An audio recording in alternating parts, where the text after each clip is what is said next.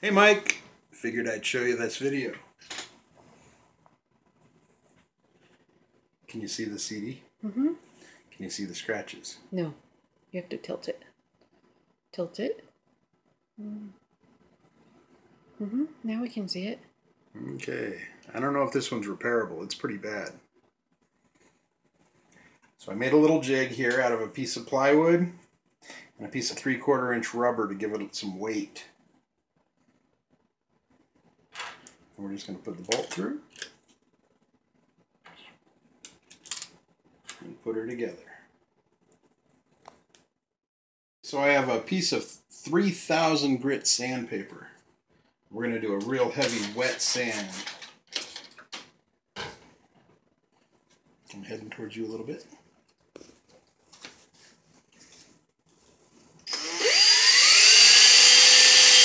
We're going to sand it for three minutes.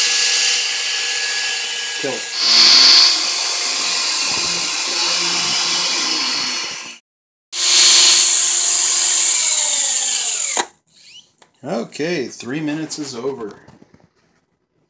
If you look at it, it is smooth, but it needs a polish. So we're going to give it a quick wipe. And now it's time to add some polish. This is Turtle Wax Premium rub Polishing Compound. Do not get rubbing compound. You want polishing compound. One glop. We're going to take our towel. We're going to get really, really wet. Just water. One spray on the disc.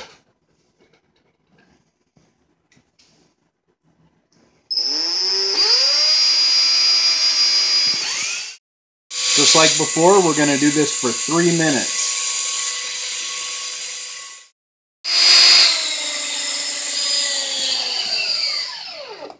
All right, three minutes down. Let's see how we did.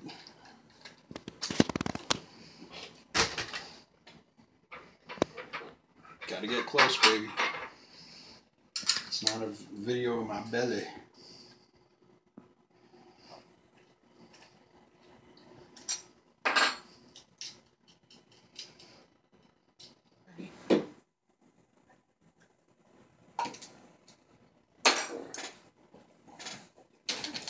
All right, let's see how we did.